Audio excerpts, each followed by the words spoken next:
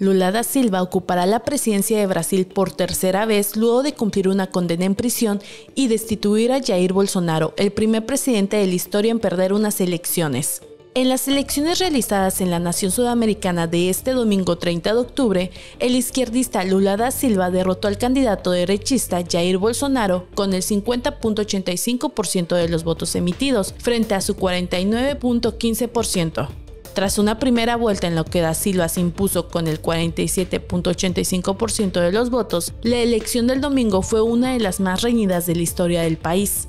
Según el recuento de votos, Jair Bolsonaro, que asumió el cargo en 2019, será recordado como el primer presidente de Brasil que pierde la reelección. Su mandato vence el 31 de diciembre. A pesar de entrar en prisión el 7 de abril de 2018, recibió su primera condena por corrupción pasiva en julio del 2017. Tras ser declarado inocente, Lula da Silva salió de la cárcel 19 meses después, en noviembre del 2019. Tras ser liberado, Lula da Silva volvió a la escena pública y se convirtió en la principal oposición de Jair Bolsonaro en la izquierda. Los invitamos a seguir informados en nuestras redes sociales y a través de digitalnewsqr.com.